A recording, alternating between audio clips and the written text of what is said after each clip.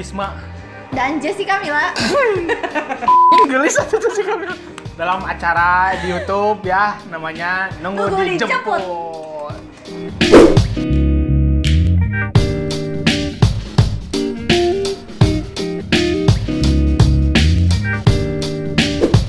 Eh, kita Ada di mana kita? di DNA Coffee Brew. Di mana ini? DNA Coffee Brew dekat Siliwangi. Jalan Belitung. Jalan ya itu namanya Jalan Spesifik Belitung. ya, Jalan Belitung. Kafena enakeun. Enak Kita banget. sekarang mau ngomongin tentang buku Semusim Cinta yang ditulis sama Miftahul Fikri. Fikri. Dia seleb Tumblr. Jadi kita panggil saja orangnya sebelum dia dijemput sama temennya. kita panggil orangnya Fikri, Miftahul Fikri. Yuhu. Ding, ding, ding, ding. Hai Oke. Fikri. Halo, Apa kabar? Mbak Mimi dan Mas Haryanto. Baik, baik, baik, sehat, sehat. Perkenalkan Dan sekarang macet. Oh ya, Mas Sampurasun, nepangkan nama Abdi Miftahul Fikri. Nama saya Miftahul Fikri ya. Eh, baru dijemput sama teman-teman panitia. Wih. sekarang nunggu dijemput lagi gitu. Jadi ngobrol. Ya dong. Ini dia kan baru bikin buku nih. Judulnya Semusim Cinta. Alhamdulillah, Alamin. Jadi cintanya cuma semusim. Mm-mm. Mungkin Musiman, atau cintanya apa gitu. musiman. Nah, isinya ini deh kenapa bisa bikin buku dan kenapa semusim cinta? Kenapa cinta? Kenapa semusim? Mm-mm. Ya. Ini self publishing ya? Ya, ini bisa publishing. Kenapa kebetulan. bisa self publishing? Oke, Nah, itu. pertama-tama aku jawab dulu kenapa eh, dikasih nama semusim cinta dan isinya tuh apa gitu. Hmm. Jadi kenapa disebut semusim cinta karena di dalamnya ada berbagai macam eh, musim ya, berbagai macam musim, musim, Mucim. Musim. musim. Ya. Ada berbagai macam musim yang ada di Indonesia dan itu tuh bisa disebutkan isinya tuh apa tema-tema besarnya gitu kayak ada subtemanya lagi di, di dalam gitu. Hmm. Jadi dalam semusim itu di Indonesia tuh apa aja? Kemarau dan Hujan. Tapi ada satu lagi yang kita nggak pernah sebut yaitu pancaroba. Pagi Kita di, di dalam buku ini disebutin uh, siklus gitu, siklus perputaran kembali. Nah itu, jadi, itu, iya, itu iya, maksud, iya. maksudnya apa gitu? Jadi kan misalnya uh, saya menulis uh, di sini itu ter- terkait tentang masalah asmara ataupun misalnya melodrama dalam kehidupan gitu ya. Hmm. Jadi uh, kemarau itu dimaksudkan ketika saya itu lagi uh, sendiri gitu, lagi jomblo dan masih mencari-cari sosok yang tepat gitu. Kemudian pancaroba itu ketika menemukan sosok yang saya sukain gitu. Itu siapa orangnya? Nah, ketika masa penghujan itu saya jatuh cinta dan memberikan segalanya dan segala-segalanya. Jadi itu semusim Iya, cinta iya, kayak gitu. Berarti pas gitu. pancaroba kedua putus gitu tuh. Ya, kan Ganti. pancaroba kedua. Ganti Ya, musim, ya, ganti ya, orang. ya.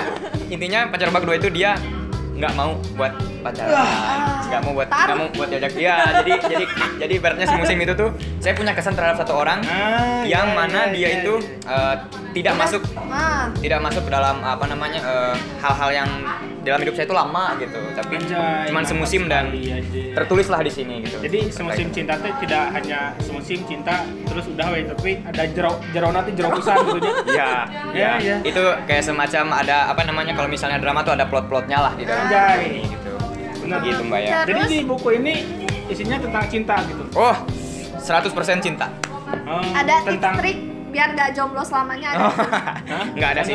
Ini itu mah cuma sekedar apa namanya eh, keresahan yang dituliskan, keresahan yang dikaryakan. Karena karena kan zaman sekarang tuh karya-karya orang tuh banyak berkarya, cuman eh, kita nggak tahu apakah itu bentuknya seperti apa kan bebas ya. Jadi kalau saya mau memilihnya dalam bentuk buku gitu, dalam bentuk tulisan. Gitu. produktif. Nah, kira-kira ini ngeluarin modal nggak sih kalau misalnya mau self publishing kayak gini? bisa dipegang ya. Jadi eh, pertama-tama pas self publishing itu ya, eh, diniatin self publishing itu sebenarnya ketika pas awalnya saya itu kumpul dengan teman-teman dari komunitas Tumblr Bandung. Wow. Di situ kan terinspirasi ya oleh banyak eh, tokoh-tokoh eh, yang ada di sana yang udah eh, istilahnya udah bikin buku duluan gitu. Eh, Kang Teh. Nah, dari sana itu saya mulai terpikir apakah saya harus bikin buku enggak. Ternyata Mulai termotivasi ya. hmm, mulai termotivasi. Bikin Tumblr itu kan sejak 2014. Oh, baru. Uh, baru baru Tiga baru tahun ya? tiga tahun jadi materi tulisannya udah ada dan ada juga beberapa di di dalam PC gitu dalam laptop Kayak gitu draft. Nah, draft draft yang nggak terposkan gitu jadi uh, mulai dicari dan dilihat dari sana ada tawaran ada tawaran dari salah satu teman gimana mau masukin ke major publishing nggak sayanya nggak terlalu ini gitu nggak terlalu Berminat. bukan nggak terlalu berminat nggak terlalu pede gitu karena apa karena materinya tuh masih dikit materinya Hmm. masih eh, masih kalau misalnya Belum bisa dibilang. "Mm, belum Baru matang." kemarau doang menurutnya. kan ada ada belum Belum hujan, belum, belum belum dan itu tuh belum ada yang namanya judulnya gitu belum ada Oh, belum oke. belum ada subtema di dalamnya itu belum ada jadi kayak masih tulisan yang seabrek ber gitu aja doang Hmm. belum dipilih ketika teman-teman udah bikin lewat major saya ngerasa bahwa oh kayaknya saya harus bikin tapi kayaknya nggak bisa lewat major akhirnya tadi menjambah untuk eh, lewat indie publishing kalau kalau saya boleh cerita ya Gimana, gimana? jadi proses untuk membuat buku ini lewat self publishing itu saya nggak ketemu nggak pernah ketemu dengan si penerbitnya Oh. Nah, jadi zaman- penerbitnya itu seperti saya- zaman now gitu. saya di Bandung penerbitnya tuh di Surabaya Oh. tapi nggak pernah ketemu tatap muka tuh nggak pernah gitu Video Oh, call? oke. gimana caranya gimana caranya kita kita berkorespondensi Nah, eta pas pas pas awalnya di, di sana tuh ada yang namanya project eh, project di Tumblr Hmm. project tulisan gitu kan kalau misalnya teman-teman main Tumblr nih kan suka ada project Iya. writing project Oh iya iya. Sering banget, sering yang, banget. Sering di seleb-seleb Ah, bikin ya. yang seleb Seleb Tumblr. seleb seleb Tumblr bikin lah enggak. dari sana itu eh, ada yang namanya Mbak Mbak Ersi dan Mas Ken Mas Ken itu salah satunya yang ngebuat writing project yang akhirnya dibukukan Oh. judulnya teh kata ayah tapi nggak dibawa mas.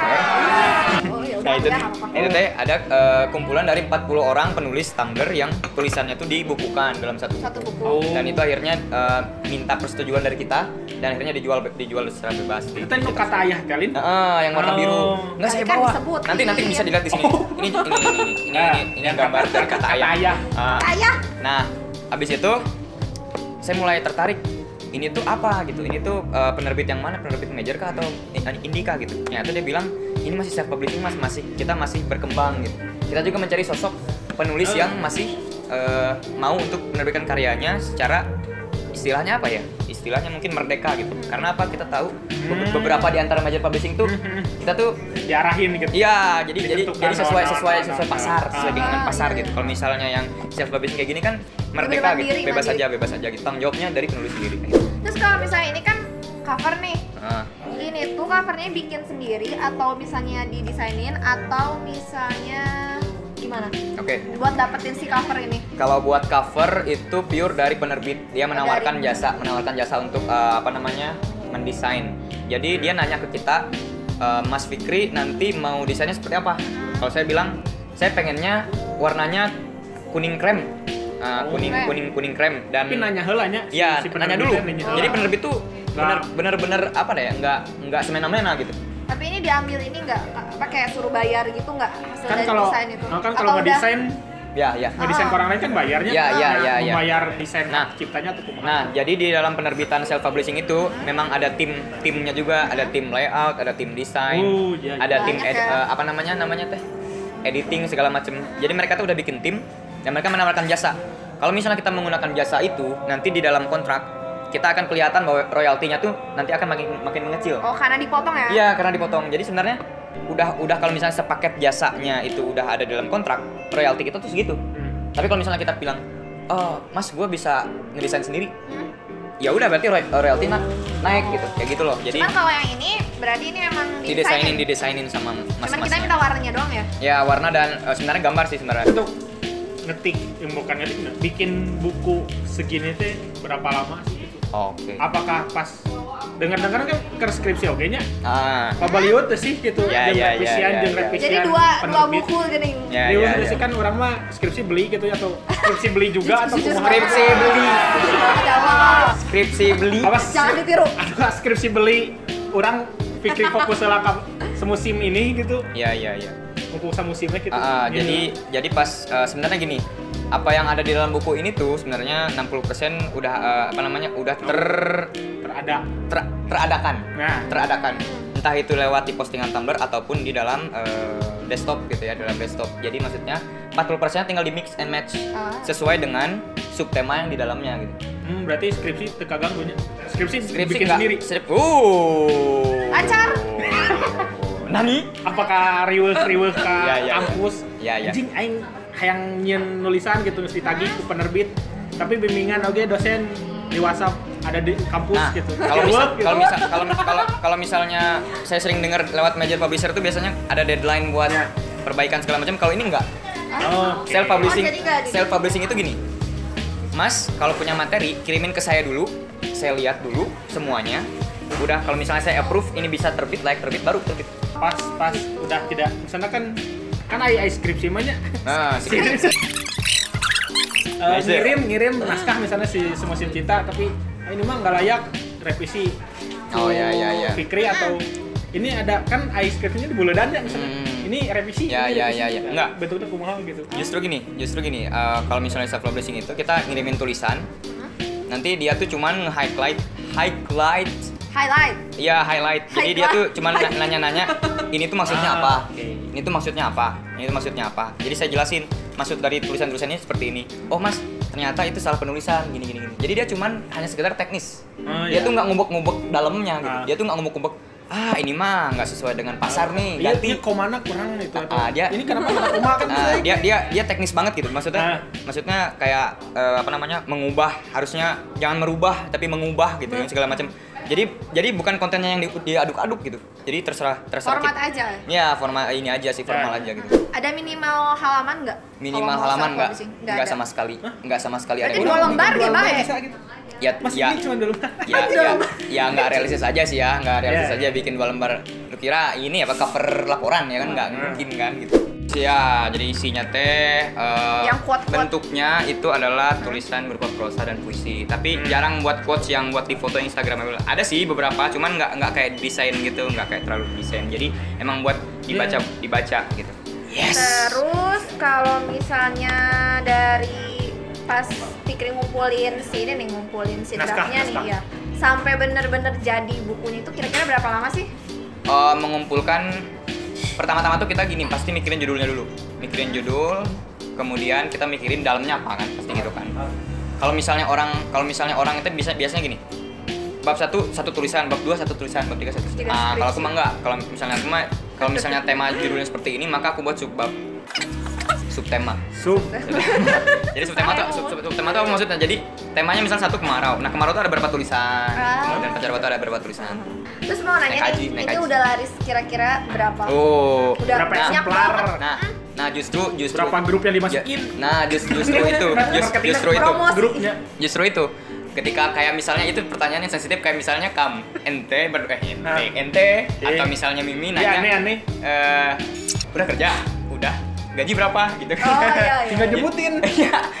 Kurasi ya, tinggal ya, nyebutin. jangan misalnya gampang misalnya. Nah. eh, ya, Jutaan. i- ya hitung aja apa namanya UMK gitu kan. Tapi kan nggak kayak gitu ngomong. Jadi maksudnya gini, eh, berapa sih lakunya? Berapa sih lakunya? Sebenarnya nggak nggak nggak banyak. Karena apa? Karena realistisnya ini karya pertama. Oh iya betul. Karya pertama itu adalah karya yang paling sulit karena dia tuh harus pertama kali melakukan bah- bahasanya ya, Iya, penetra- lah. penetrasi gitu Iya. ke dalam pembaca, ke dalam eh, ke dalam apa namanya pelanggan, Adaptasi. Ah, pelanggan. Oh penetrasi. Jadi kan aku kan mem- jadi Iya, iya, jadi aku tuh menciptakan tes bunting. dari yang dari yang apa namanya alamnya cuma pembaca, jadi alamnya tuh pelanggan. Gitu. Ah benar. Ah, jadi maksudnya kita membuat pelanggan baru dan itu gimana eh, nanti akan kelihatan. Oh ternyata yang beli buku gua tuh segini, padahal gue punya followers segini. Oh. Kalau misalnya ini ya udah misalnya pesennya satu batch yang 50 misalnya Ah. atau batch yang 100. 100. Terus tiba-tiba udah pesen 100 ternyata uh, ada yang nggak laku. Nah, Hmm. terus yang nggak laku ini nasibnya gimana? Nah, ini Ya, ini ini, ini yang harus ini yang harus masuk dalam ke dalam alam, keluarga? alam bawah sadar. Dijual ke keluarga, ke saudara Buku- maksa buku- atau buku di sisi jalan gitu kan. Buku ini dicetak sebenarnya bukan karena cuman kehendak saya doang, Iya. tapi karena kehendak pembeli. Namanya apa? Pre-order. Iya. Jadi gini, Oh, iya, kita iya, cuma iya, nampilin iya, iya. nampilin apa namanya semacam promosi ke dalam grup-grup segala macam bahwa Hmm. bro ini bakal ada buku, ini resensinya, ini harganya, ini bentuk-bentuk pembeliannya. Kalau mau mau beli silakan dalam batas waktu yang kita tentukan gitu. Jadi Hmm. sebenarnya ada andil dari pembaca untuk tercetaknya buku ini sejumlah Oh. berapa. Ada rencana nggak kalau misalnya suatu saat nanti pengen nerbitin buku lagi Oh. tapi pengen ke major? Pengen ada nggak keinginan atau pengen self publishing lagi? Eh, kalau misalnya dari sisi eh, kemarin evaluasi ya kita evaluasi bahwa sebenarnya salah satu kekurangan kita dalam menjual buku ini adalah dari sisi eh, marketing marketing karena marketing itu ya karena marketing itu sebenarnya gini sebelum dia ke teknik marketing kita lihat dulu personifik personifikasi Nah. Apa Bahas- sih? Aku ba- bingung, bahasanya tuh Kan penulis. Oh, bahasa, beda, bahasa beda. bahasanya tuh ya seberapa seberapa menjualkah persona diri kamu Oh, persona tuh apa maksudnya jadi lu tuh udah dikenal belum sih sama eh, pembaca-pembaca Ah. atau lewat medsos yang lain sebagainya gitu jadi oh si kakak ini bikin buku oh, Oh, iya, iya. beli beli jadi jadi jadi sebenarnya dari persona jadi eh, apa namanya dari diri saya juga ngerasa bahwa oh nggak nggak seterkenal yang lain, wih biasa aja, B, B, B. B. tapi tapi didukung oleh apa namanya teman-teman Tumblr yang eh, membuat ini menjadi ada. Anjay. Tapi tapi nanti eh, masa depannya mungkin bisa jadi kalau misalnya lewat major mungkin bisa jadi. Tapi ke- rencana saya ke depan tuh mau bikin cerpen. Cerpen. Nah, itu kumpulan cerpen. Cerpen. Kayaknya kalau misalnya major major istilahnya gini, ah cerpen mah kayaknya nggak laku nih ya. Cerpen mah kayaknya nggak laku nih buat buat zaman sekarang. Ah ya udah gue siapa bisa. Iya, iya. Ini kira-kira masih PO nggak? Open PO nggak?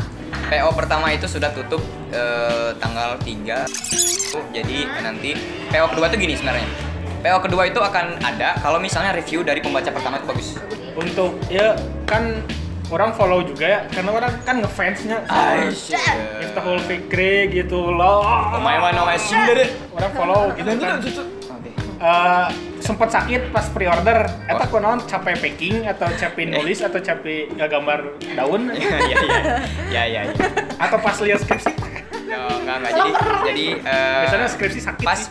ceri- ceritanya tuh jadi pengiriman pengiriman apa ekspedisinya tuh terlambat gara-gara saya sakit sakit tuh gara-gara memang ada efeknya juga dari buku ini Cepet sembuh. nah kan cek orang Jadi- bikin buku sakit Ya karena karena, edan. karena memang kalau misalnya teman-teman aku cerita aku aku Aku. saya ceritain itu kalau misalnya perjuangan saya publishing tuh nggak cukup buat di sini doang. Jadi Hmm. memang harus dijalani dulu baru ngerasain bahwa oh, Oh jadi gini. iya oh jadi gini loh gitu. Hmm. mikirin spek-speknya aja, mikirin gambar-gambarnya segala macam tuh banyak. Hmm, pernah nggak ngisi acara tapi udah bawa bukunya ngisi kayak ngisi acara buku kayak Ah ya ya ya. gimana? Cara pernah nulis nggak? gitu. Pernah nggak? pernah pernah pernah pernah diundang di eh, Politeknik Negeri Bandung. oh yang sama Versa Biasari Ya, yang sama besar besar aduh aing lupa lagunya Ya Allah. Pokoknya orang tahu ya, ada ya, di ya, sama sama Pirsa Besari eh, pernah di Politeknik Negeri Bandung. Itu tuh ngisi bukunya tuh ini tuh sebelum belum ada sebenarnya. Jadi ngisi bukunya tuh bukunya tuh masih kayak kata ayah gitu. Oh. Jadi masih buku yang apa namanya eh, kumpulan dari penulis-penulis yang lain dan eh, itu tadi Apa? apa sarannya oh saran masih tadi nomor satu niat, yang kedua itu em, Jangan mikirin jangan mikirin untung untungan rugi. Yang ketiga, Paling royaltinya yang kecil atau enggak itu doang. Iya sih. Jangan, tapi jangan jadiin itu kayak penghasilan. Wah, jadi orang mau jual ini nih, eh, kayaknya harus laku nih. Jangan jadi patokan. biar bisa beli Mercy ya kan nggak bi ya Nggak nggak iPhone gitu juga. iPhone X meren aya nama iPhone X masalah royalti lo gede atau enggak ginjal dua ginjal itu adalah gimana caranya marketing dan itu eh, apa namanya di luar dari konten yang bakal diterbitin yang ketiga adalah Hmm? originalitas Apa ya itu ya artinya? keaslian jadi gini maksudnya Oh. tulisan kamu tuh harus merepresentasikan diri, Diri kamu kamu. Buat teman-teman nih, kira-kira teman-teman yang pengen beli ini buku ini harus belinya ke mana? oke eh, kalau mis- kalau misalnya nanti nanti bakal dikasih tahu ya bakal dikasih tahu di media sosial ataupun misalnya di Tumblr dan sebagainya bakal Tumblrnya apa? Miftah miftahulfikri.tumblr.com You can see in miftahulfikri.tumblr.com follow aja jangan jangan follow Ah, nah itu. Jadi bakal dikasih kaya. bakal dikasih tahu eh, apa namanya PO keduanya bakal kapan. Hah? Tapi itu belinya lewat website penulis. Penulisnya Oh. namanya Kindi Press dari Surabaya. Dari Surabaya agak jauh ya. Jadi kindipress.com nanti bisa Ongkir mayar. ongkir mayarnya Oh, bayar iya, iya, iya. tapi kan ada ada yang free non free ongkir free ongkir gitunya Ada Ada ada ada ada juga. promo-promo ada. Kalau misalnya tunggu promonya misalnya beli tiga atau beli dua bakal ada. Jadi intinya tungguin aja updatean dari AA ini. Alright. Ah, Fikri Oke. Eh, udah udah dijemput itu Oh, Payun. Aku sudah dijemput oleh eh, panggilan Allah. Astagfirullahaladzim. Aku harus sholat. ya benar Aku harus sholat. Aku harus sholat. catoan. Kamu nggak sholat kan? Kamu nggak sholat kan? Oh iya. Jadi aku harus sholat dulu. Jadi gimana nih? Aku langsung pergi aja? mangga itu HP-nya bukunya Oh, nani? bayar kopi atau apa gitu Dibayar dulu, jangan dulu pulang. nah Ya. Jangan Itu lupa Gojek udah nungguin. beli Kok Gojek sih gua mau sholat? oh itu Allah udah nungguin kan bener sholat itu kan mau ketemu Tuhan Oke, terima kasih ya uh, atas waktunya. Terima kasih. Terima kasih dulu ya. banyak. Kita yang makasih. Sana. Semoga sukses selalu. kamu Ya kamu juga sukses. harus buru-buru Dadah. Kabarin PO kedua, cuy. bayar segitu dulu Bray obrolan kita sama penulis terbaik saya ini untuk miftahulfikri.tumblr.com jadi nunggu dijemput dia udah pergi juga sih udah udah dijemput Diusir. Sama kita diusir. Iya bener, dia udah ada yang nungguin. Eh, sampai jumpa di video selanjutnya bersama dia, Mimi. Mimi, dan saya Mama. Mama. Curhat dong. Mama. Eh, dadah.